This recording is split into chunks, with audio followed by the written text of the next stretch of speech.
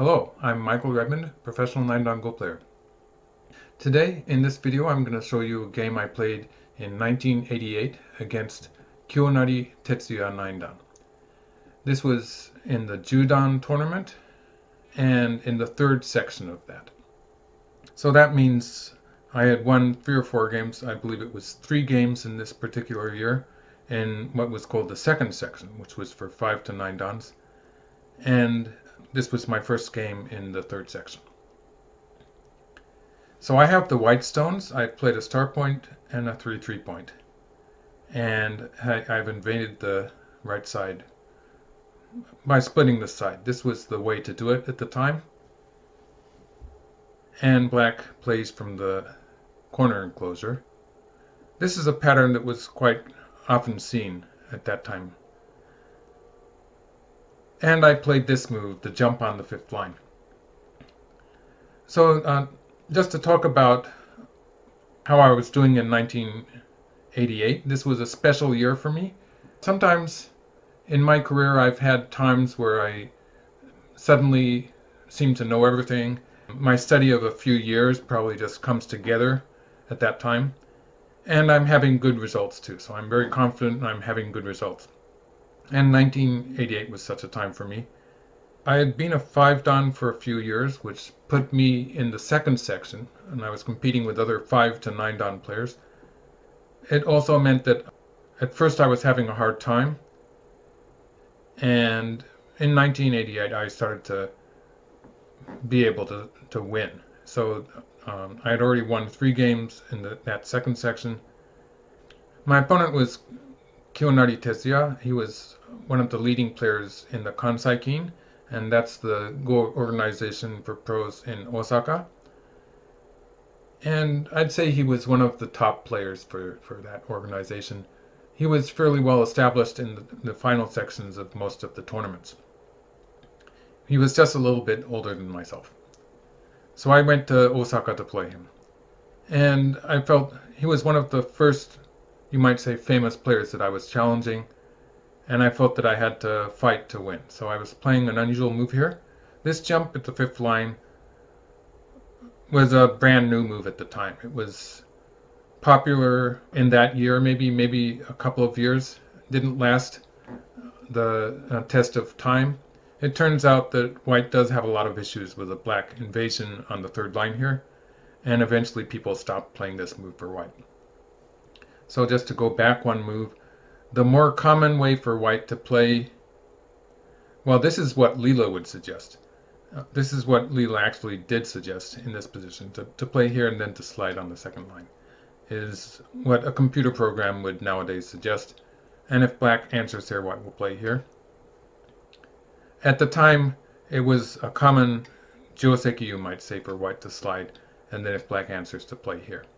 So this might be considered to be a slight improvement of that, especially if black will answer here, which is questionable. White, black will probably just leave it at this point, but in any case, white's trying to get one extra forcing move here, and it is fairly clear that that's working if we do get to this position.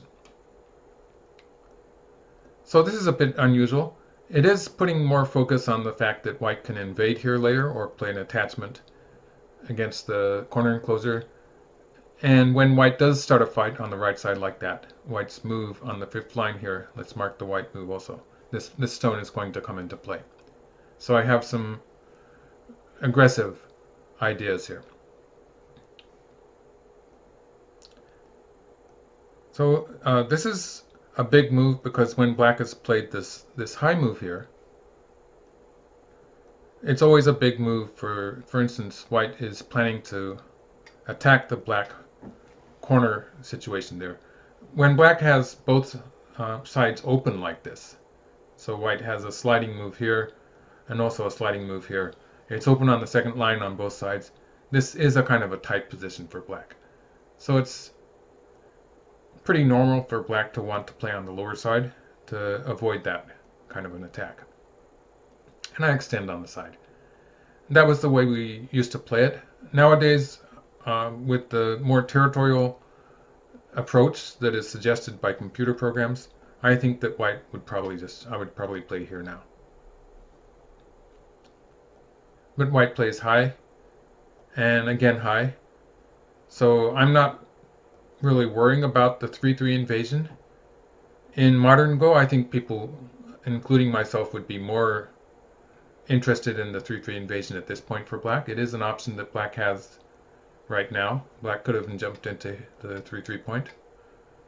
Something like this could probably continue. And white would then have to find some way to to build the moyo. I would probably play away at this point. Something something around here, for instance, is one option, like this kind of thing, just to build another wall to make a big moyo in the center of the board. This kind of idea. But in the game, black did not invade the 3-3 point, but played here instead. So this is reinforcing black's territory in the upper right. It's my opponent, Kiyonari Tetsuya, was a player who liked solid territories. He was a strong fighter, but he usually took territory first. So he's taking something that looks like it could be more than 30 points if that whole area becomes black territory. You see he has added some reinforcing stones to make it relatively difficult for me to do anything about that. And at the same time, black is taking away the base of this white stone. So black is pre preparing to hopefully attack that white stone as a way to get into white's moyo on the left. So I play here. I'm focusing more on the left side of the board, whereas otherwise I could have played something like this to reinforce the relatively weak stone. And then black would be coming in on the left side. So that was a choice I had. Black invades, and now I played here. So this is the local Tesuji, the tactic that is quite often played locally, just testing how black will answer. So black had a number of options. In the game, black plays the natural move here. Otherwise, black could have played underneath, which would be refusing to give white a living shape. But I would have some aji with forcing moves with this. Maybe this is going to be a forcing move or maybe not. I might have to start with the connection on the outside. You can see white is getting some potential forcing from, from the outside. Quite often it will not work in a straightforward manner just because there are so many black stones in the area, but it is something that white can use hopefully to reduce black's territory. Otherwise, if black plays here, uh, there's a lot of bad aji, although locally it is dead. It there will be some problems with a cut here later. Actually, white might start white might start with the hane and then cut. There is going to be a lot of bad aji with this variation. So some potential for white to get some forcing moves from outside at least. So my opponent played it the most played the most uh, solid move. And this looks might look a bit strange, but black is just limiting white's forcing move to this, this one. Whereas if black had cut on the second line, which was the more normal way, I would have some options of just for instance in a position like this, I would have a potential forcing move on the second line too. So black is reducing my potential there to a certain degree. It's, it's questionable whether there's a real difference there, but uh, this is the reasoning behind this move. Otherwise, black could have pulled back here, in which case I do have potential life. Actually, it's going to be a ko in the corner if I play here, and if I do something like this. This is going to be a typical corner shape that uh, hopefully you've seen before. Black has ways to make a ko out of it. For instance, this would be a ko. And it would be a in corner. Or black could or black could play this way. This is another way to make a ko out of it. So it's not that there's just the one answer. This would also be a ko. I would probably not play the whole sequence there, but just leave the potential life. For instance, if we got that far, I would probably just leave it and start playing on the outside. And continue the fight um, in the upper left area, leaving that potential ko for something I might try to do later on in the game. when black takes the corner territory like this, now I get some potential to force some from outside. This might have been a bit too strong a way to play. Nowadays, I think I would have just jumped to the second line, leaving the idea of playing something like this next and reducing black's territory. The value of playing this jump to the second line is that it puts more pressure on this black stone on the left. So it's, it's a stronger move towards the left side of the board. And while this move was sort of hoping for, for instance, this kind of variation would be ideal for white, black is not going to answer in that fashion when black has such a strong position, a very strong position here on the right. Black doesn't really need to, need to add stones to that. So black is not going to answer in this fashion in this game. Black's game move with this move, it's a very interesting move in that black is trying to add some stones to this before deciding what to do with that stone at M17. So black is going to focus on settling the mark stone first. And since my opponent was a top player and I felt that I was sort of challenging him I see here that I was just choosing an exciting move. I was choosing one of the more exciting moves when I played this Atari from underneath. I do remember that I spent a lot of time thinking about various options that I had. The more common way to handle this would be to play an Atari from the third line and then covering here.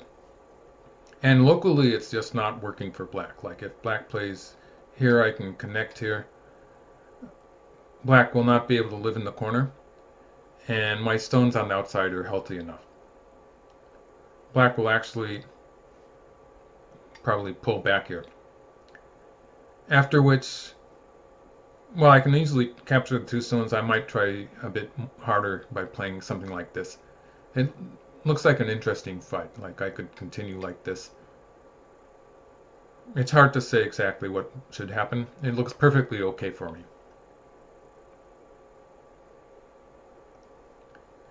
But in the game I played an Atari from underneath and then an Atari here, a very forceful way that I chose to play. In the game black immediately cut on the second line, but actually this did not work very well. I think I actually got a lead at this point in the game. So I'm, I'm going to say black should have continued this way and then cut on the second line and crawl. So it, when black plays this way, I have a choice at this point. I can continue to try to surround the outside, which would be this move, giving black a nice territory in the corner. And if I play here, there's still the option for black to play this move later. Black still has some potential there. While if I play this way, now of course black has the potential on this side. With the potential of running out, the latter does favor black here. So it's not a very happy position for white and I would not do it that way, but I would crawl in the corner to capture the two cornerstones. Black would play here, and I would add a stone to the corner to finish capturing those stones. In this variation, black would probably continue with something like this. Black does have the squeeze here, so this looks slightly better than the actual game for black. In the game, Black simply cut. I captured one stone. And it was like this. And black has to choose whether to go into the corner or to play on the outside. But if black goes into the corner, it's not going to be as good for black as that variation I was showing just now, because white will be able to capture the one stone here and has a very nice, a strong position there, with potentially a forcing move here also. So white has a very nice shape on the outside. I would be happy to play this way. In the game, black connected here, and I crawled. So this is a position that does require some tactical reading ability. The corner position is not settled yet. It's dangerous for white. But if black immediately extends here, something like this might happen and black is going to capture those four white stones. However, when I play like this, black has to answer because if black plays away,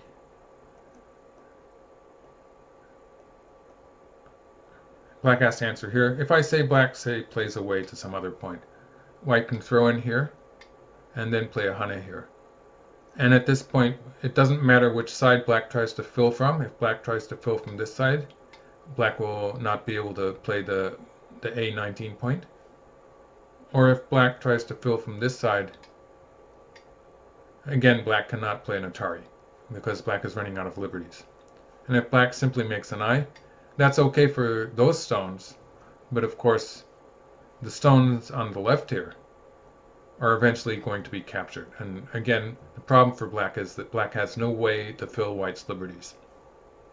So this would just be, the whole area would be uh, dead black stones. So black cannot do that, but has to continue adding a stone there. And this, although black gets the corner, about 10 points in the corner, black did have to put in a lot of stones. So this would be just fine for me. I would play away probably something towards the lower side of the board, like a shoulder hit or maybe an attachment here, something that I might be able to use to enlarge in the center because I, I have a lot of potential in the center of the board at this point. My idea would be to give black the lower side and hopefully build some kind of a wall and then make some territory on the left side and in the center of the board because of this this move here that white can use to enclose black, black does not have time to go after the cornerstones with this move. And place here, basically this is to get rid of this attack, to create a connected position there. So I play once here, and I capture the corner. This is reasonable. I could have played this one, and it would have still been a similar position, but I simply just went after the corner. This makes sense too. And I think this actually is already a good position for white. White has something like 20 points just in this immediate area, just in, in the area here, which is pretty much white territory. So that area alone is 20 points. Actually, if you count all of the showing points and two for each black stone. You have to remember there's a black stone that was captured here. That's probably 21 points, but at this point of the game, you don't have to be that exact. And then, of course, there's some extra potential territory for white here. That territory that white has there is very difficult for black to reduce after white has such a strong position. And it's almost as big as all of black's territory. So if we look at black's territory, black has something close to 20 points here a little extra territory here. And the lower side, this, this area cannot really be counted as black territory yet. So white is, even in territory, just counting this, this one area is, is just about equal to all of black's territory. And white also has some extra areas. So after this, I'm okay with territory. Black continued here. And I have to find a way to deal with that black area on the upper side. So I um, connect once, actually, I, I cut here. I could say it's an interesting move. It didn't really work 100%. The idea was that if black answers here, then I will have the option to play a hane here with some extra potential in the center of the board because this point is forcing. I'm not going to play it so soon, but I do have that forcing move there, which will make it more difficult for black to play moves like this and move out into the center. Um, it will be pretty easy for me to stall that. So that's uh, the reasoning behind that move. In the game, black played the jump, and I extended. In this trade, I'm getting a little extra potential territory with the option of capturing those four stones next. But it's not big enough to do it yet, so I play away. And black splits me. So this is a point in the game where I have an advantage in territory, but I also have this these weak stones floating around in the upper side, and I do have still some issues with a potential invasion here. So for the time being, I have to deal with those two problems at once. So I attached here, and the idea with this move was that I would play two forcing moves and this would reduce the potential of black invading here. So I would probably just play those two forcing moves, and then I would push here, and I would be fairly safe on this side too.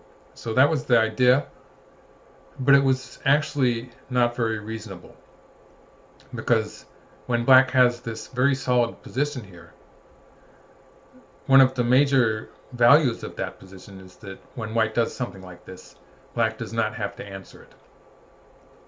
So black invaded on this side. A very sharp move. Um, I sort of agree with this move. It's the right direction of play for black. I answered here and then bumped against. It might have been better for me to play the hanging connection here. But I bumped against black and black has surrounded this white stone here. It's not dead yet. At this point, it would be perfectly fine locally for me to jump into the 3-3 point and offer to sacrifice that one stone. With this, this would not be bad locally. There's the problem that this white group is not very much alive. So my real problem is on that side of the black invasion. So I add a stone to it. So with this stone, I'm pretty much alive. I'm I'm alive in this area here. I, it looks like I have two eyes. Black answered here. And this move, well, I've just said that I have two eyes. Let's just play a random move for white, and I'll show you that if black plays here, and here, and here, it is not 100% alive, because because of this stone that black has just played, when I play here, black does have the option of throwing in here to make a ko out of it. Or black could start with this stone and do the same thing. So there is this ko that black is preparing to do at some point when black plays this move. So putting some pressure on the white stones. Another option with this move would have been to play on this side and just start to build the moyo on the on the lower half of the board. So I peeped here. This is looking at two cutting points, the cut here, which would then set up a cut here, and also pushing through on this side is another way I can cut black off. So it's threatening black a little bit. And I jumped out. So I peeped once and I pulled back. With this move, I am putting just a little bit of pressure on this black group here, this black group because if I play if I play this point next the hanging connection there black will not be 100% alive so I'm putting just a little bit of pressure on that black group on the upper side and black did answer here taking territory while protecting it so I peep again and the real threat with this move is that I'm threatening to push through at this point and force black to connect at p15. So black played this move here. Very interesting move. I answered here, which actually was not very good. This was a kind of a turning point in the game where it became a bit difficult for me because I should have just played here, uh, keeping this this black stone from connecting up to the to the side. If I play here and maybe something like this, I already have something close to two eyes, and I do still have the option of cutting here and forcing black to connect at this point, which is, I'm not in a hurry to do that, but it's something that I can think of doing at some point. More importantly, I'm just one move away from having a live shape here, so I don't have to worry about that white group very much. So that would been just fine for me. When I played here, uh, gave black the opportunity to push through and connect that one stone threatening to peep here. At the same time, you can see that black has gotten rid of the cut here. If white cuts there, anytime it's going to be a snapback. So that cut has disappeared in the process. Very efficient for black. So black covers here, and I cut, and black plays here a very persistent move here, putting more pressure on this white group on the right. This was actually an opportunity for black to play away. On the, in the center. Playing here in the center is a very big move. And white would probably answer like this to get a living shape on the side. And this would be threatening in turn. For instance, if black plays something like this, it would be setting up this move, which now puts some pressure on black in the corner. Black can live with this move. Um, actually might play an Atari first. And it's like this, like this. So black needs to put a stone in here to live. Black is alive, but uh, this side is not alive. So this is a, a, real problem that black will have to worry about. Um, it's it's a it's going to be close. Not 100% sure, but maybe black can live in the center at this point. But at the very least, white will have. At the very least, I could play this move to force black to live on the side. So there's a lot of extra profit that I have waiting to happen there because I've played this move. So this is a very efficient way for white to live, and that's what my opponent wanted to stop me from doing. But looking at the overall position, uh, I will say again that I think it was okay for black to play like this on the outside. Probably in this variation, just to cut here and fix the problems that black has on the upper side. Black does have a nice structure here, a, a little moyo here. Even though white has the invasion at the 3-3 point, the board position looks okay for black at this point. Black is there was a point there where I, where I was saying that it looks good for white. I'd say at this point, uh, black has come back and it's looking a bit better for black.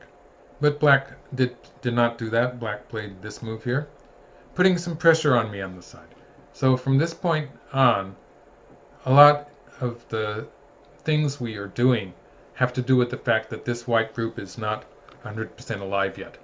And I still do have an advantage in territory. I was telling you earlier in this video that white had a very solid 20 points here plus probably 10, point, 10 more points here. So if we count something like 30 points there on the left side, black just has 6 or 7 points here and slightly more than 10 points here. So added that is still less than 20 points.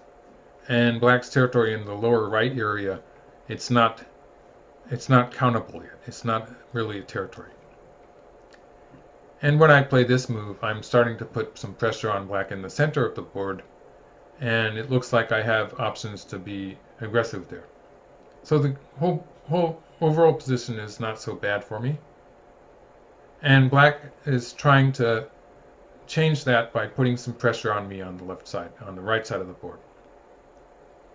So I uh, cap here, black moves out. It's not really clear who's attacking who at this point. and I peep right here. So this move was alright. It was not such a bad move. But uh, at this point I went wrong. So my first priority should be to settle this group.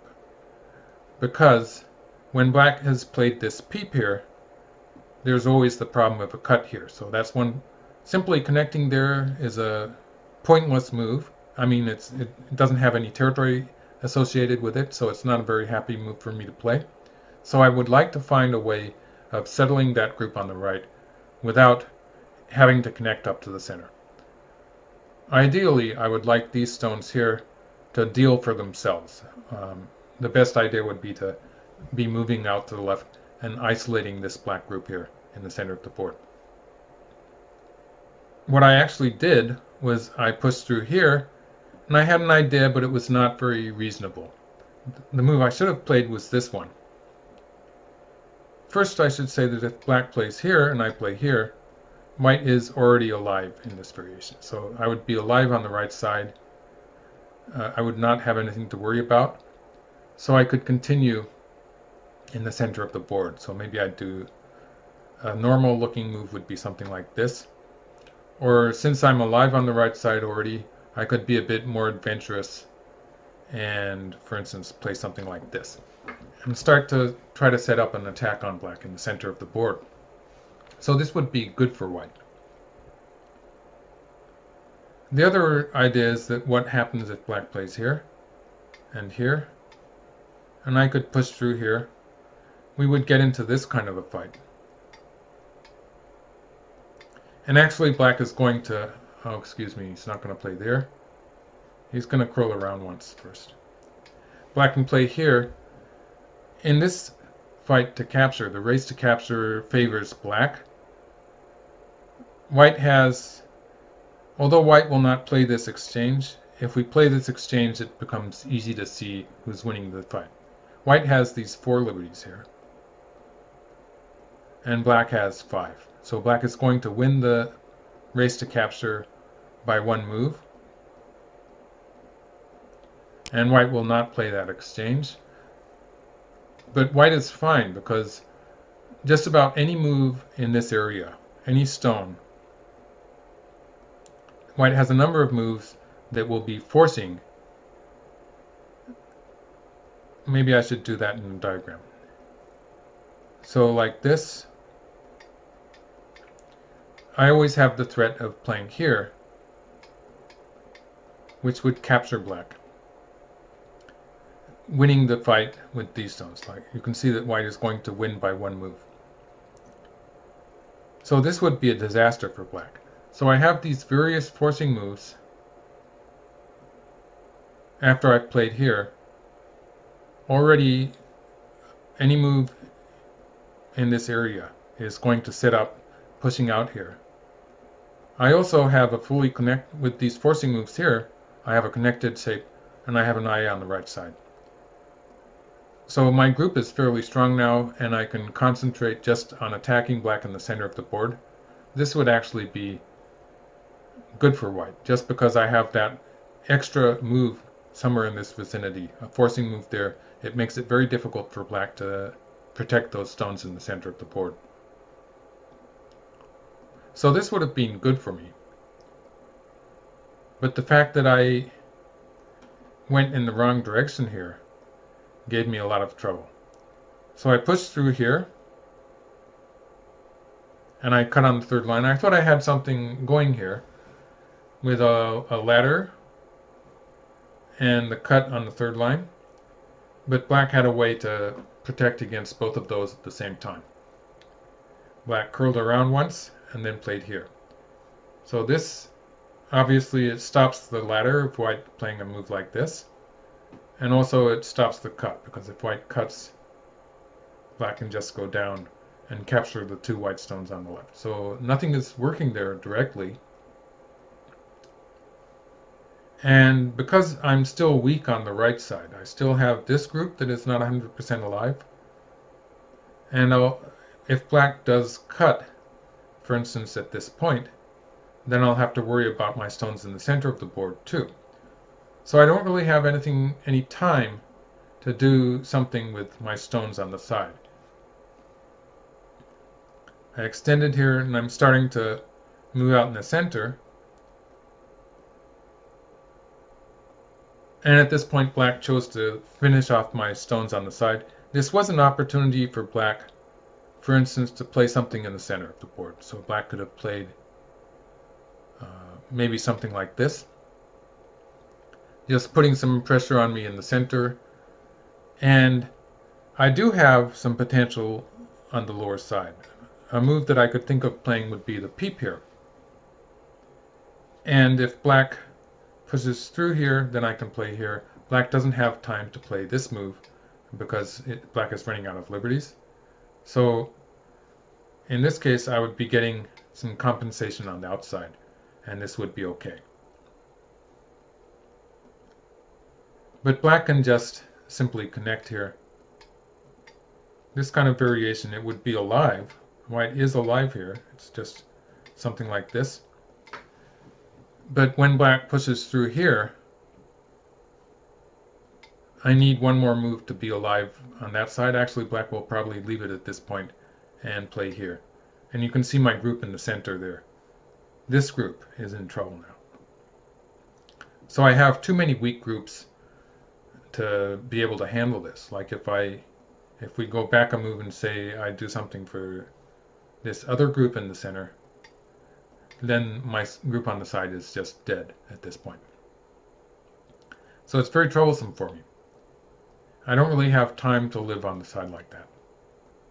which means that it was an opportunity for black to, instead of playing here, black could have added a stone to the center, made it much more easy for black. In this case, black does have a lot of territory in this area. So black is gaining in territory, probably taking a decisive lead in territory at this point, but there is some trouble that black is going to have with those stones in the center.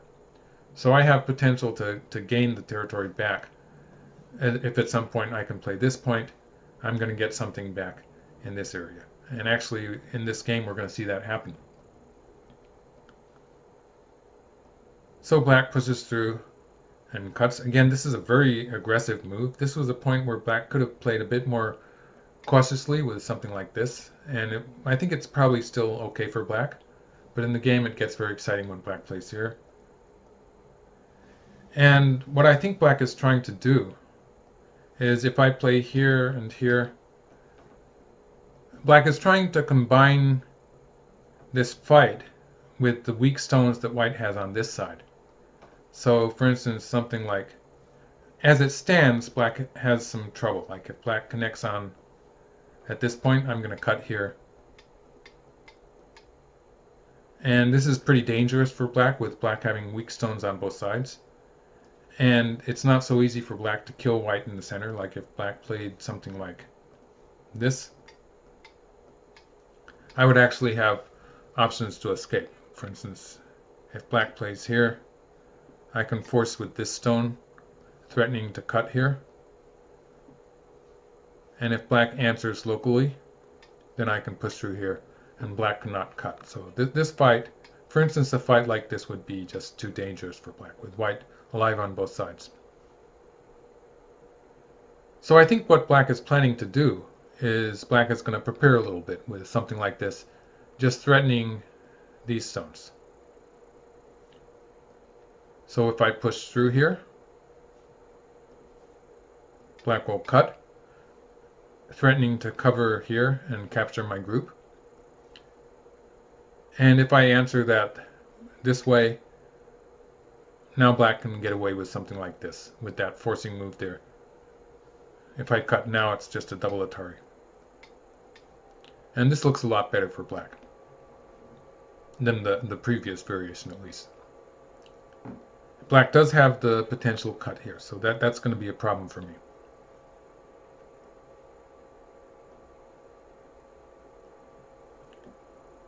In the game, we're both in overtime, I think, at this point, so we are experiencing a lot of time pressure, but I was trying to reinforce this group.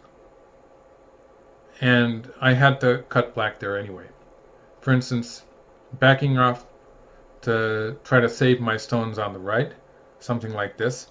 This would just be too submissive and it would allow black to capture these two stones. And I would have a losing position there because black has so much territory in this general area and white has not accomplished anything. You might notice all of the stones I've played are virtually dame points. Like I, I, all of the stones that are, are, alive at this point are useless as far as territory is concerned. So it's it's certainly not working for white. So I have to attack. And I cut. And in a way you can see that my play here has reinforced this white group. So I'm strong enough that I'm not going to get captured now.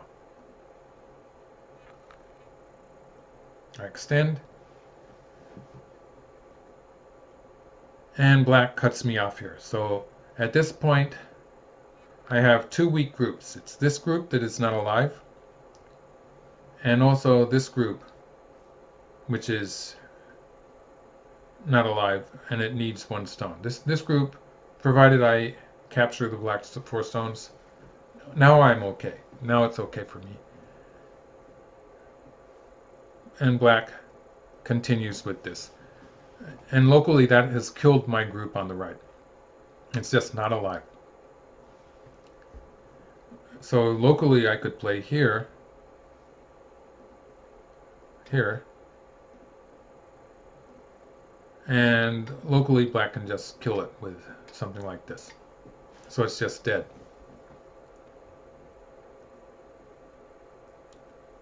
And I played this move.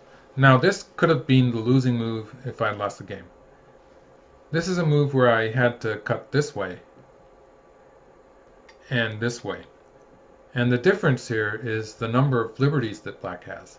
In this variation, the potential race to capture between this white group and this black group is actually looking pretty good for white. I think this is probably a winning scenario for white, like black could play here. And because of black's lack of liberties, the local position here is something like this. Black has only one liberty there in the center. And it looks like white is going to win this scenario. Like black has about five liberties at present outside, and then one adding the one liberty here, black has only about six liberties. So white has an advantage in this race to capture.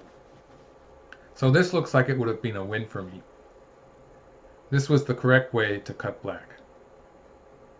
And you can see that there are all these open spaces here where white has some extra liberties. In the actual game, all of those are going to disappear. In the game I pushed through here, my idea was to cut black with uh, potential ko to connect up. But the drawback is that now black has some extra liberties in this area. This, this position now has four or five liberties, whereas the previous variation that I was showing you, white cutting this way, black had only one liberty. So that's a big difference. And also you can see that about two of white's liberties have disappeared. So the two liberties that I was counting, uh, they were at this point and this point. They're both filled up now. So even if black just connects here, this is already dangerous for white. Black chose to play what looked like a safer move.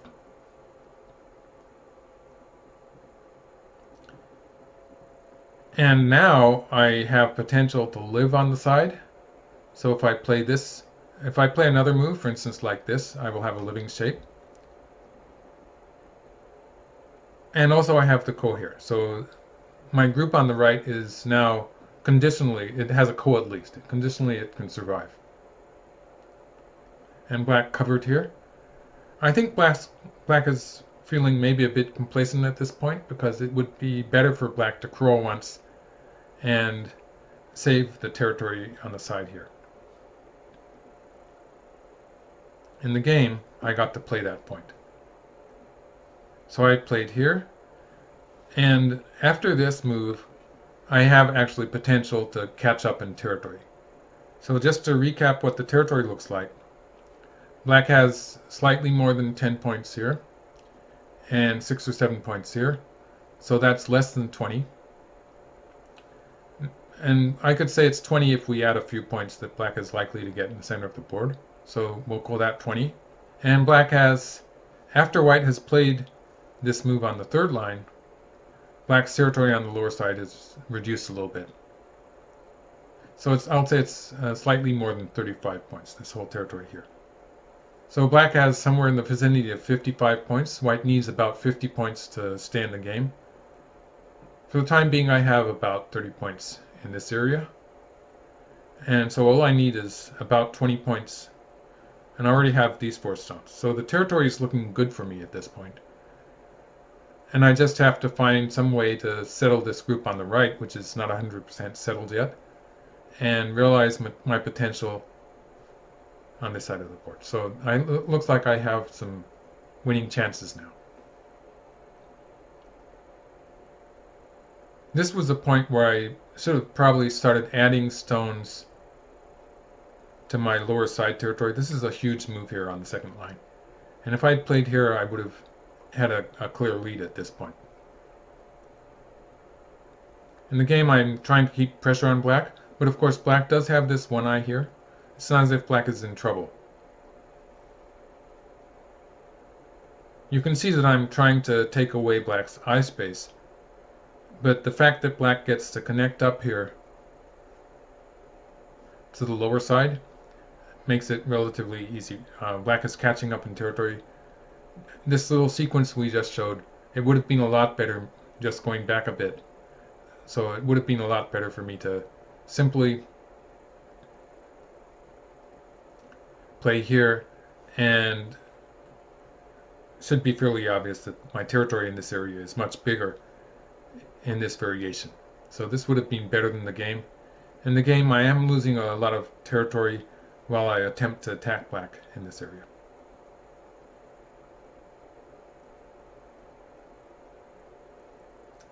So this was um, this move here, making a life for the black group. Black now has an eye here and an eye here. So this established two eyes for the black group, but it was actually the losing move.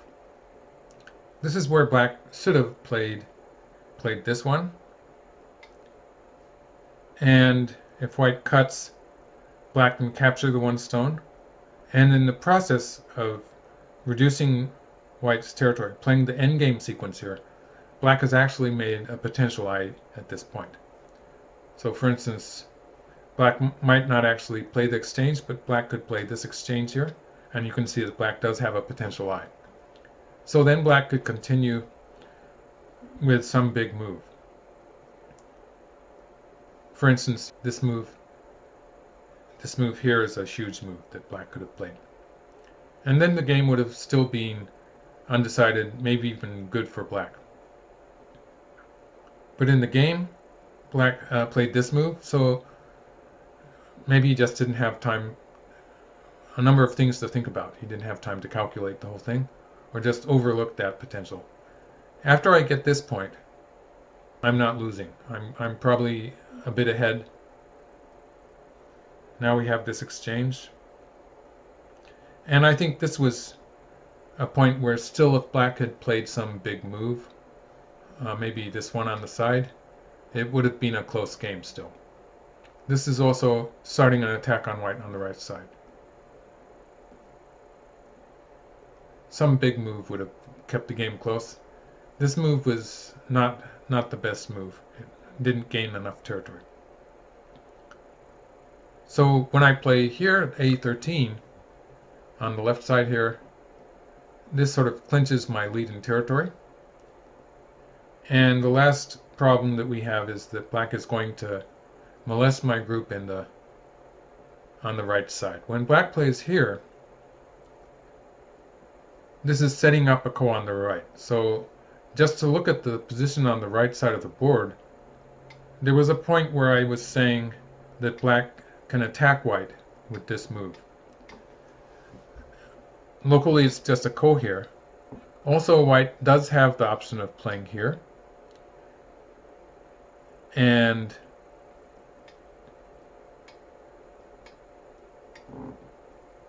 this could be troublesome for black because just locally it's already not very clear what black is going to do because there was a ko there if black plays something like this but you can see that um, if black connects black is already losing the, the fight to capture the race to capture so white does have this forcing move at 6 and that's why black started by playing this move so black is going to force here if white answers it then when black does play, black can do it this way too. Black could play it from this side. Uh, when black does do this, it's going to be a ko for the life of white's group. So the ko here, white has to win the ko in order to survive on the right side. So when black played here, I started to uh, protect the right side. Provided white fights this ko or plays a move on the right side of the board, the group is going to be okay. So it's just the question that black is threatening to play the, the snapback here. I do want to fight the ko to get a relatively good result. And so for a while we're going to be fighting this ko. It's not a direct ko because at any point, even if I lose the ko, I can live on the right side with this move. It's just going to be a bit painful. So I'm playing ko-threats that might not, well, I'm threatening black's group on the upper side actually. But I'm just playing relatively small ko-threats sometimes. And it's not a big deal because uh, it's not as if I'm going to immediately be dying on the right side of the board. And so finally I win the ko, and black has captured these three stones. So black did get some profit out of that. But after I've played this huge move on the lower side and also gotten the big move here, it's okay for me to give a few points back. And, Well, frankly, I had no choice with that weak white group on the right side here. So that was okay. And the rest of the game is just endgame. I'm finishing off, getting rid of some of the random codes that could have happened. And we take the game to the end. This ended with white winning by two and a half points. So it was still a fairly close game. So that's the end of the game. In this game, um, it was the first round of the third section. At that time, the, the Judan tournament had a third section that reduced the number of players who got into the final tournament to, I think it was a total of 16 players. And then the final tournament was a tournament in which you could lose one game and stay in the tournament. So I think it's called a double hedron or something like that. So there's, they used to call it a losers tournament. I think they call it um, a recovery tournament or something like that after a while. I was still in the third section. Um, my next game actually was against another famous player. I'll probably make a video of that also in the third section. I had to win two games in the third section to get into the final tournament. And as I was saying at the beginning of this video, 1988 was a big year for me, and it was especially big in this Judan tournament. So I'd like you to look forward to more videos about the Judan tournament, and I hope you enjoyed this one. So if you did, please give the thumbs up and sign up to my channel if you haven't. Thank you.